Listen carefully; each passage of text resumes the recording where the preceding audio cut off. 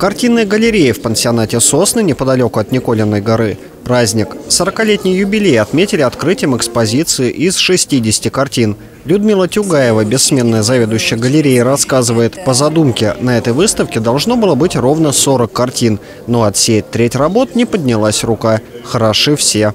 Искусство помогает очень нашим отдыхающим жить, быть здоровее.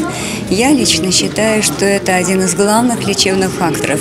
Когда они встречаются с искусством, облагораживают себя, заряжают энергией. На открытии немало именитых гостей. Оценить экспозицию пришел и вице-президент Российской Академии Художеств. Андрей Золотов высоко оценил работы скульптора Тукаринова, также представленные на экспозиции. А одним из лучших экспонатов назвал картину Андрея Жилинского.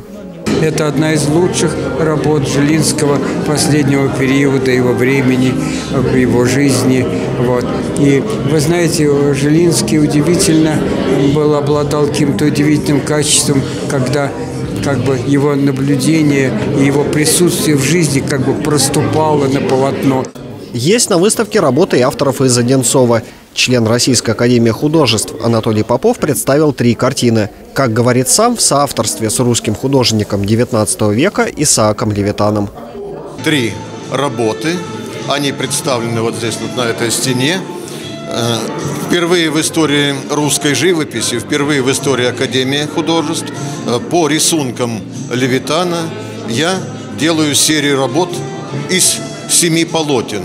По словам Попова, этими работами он продолжает воплощать в красках то, что не успел Левитан при жизни. Торжественная церемония открытия юбилейной выставки продлилась до глубокого вечера. Гостям предложили не только насладиться живописью, но и посмотреть фильм об истории галереи. Роман Попов, Станислав Трифонов, телекомпания «Одинцова».